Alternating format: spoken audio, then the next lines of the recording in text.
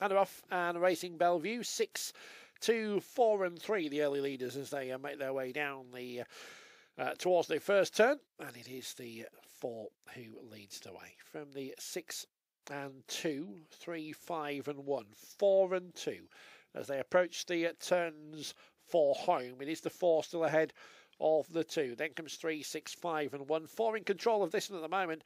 Uh, three, the favourite, going to have to settle for a share of the money.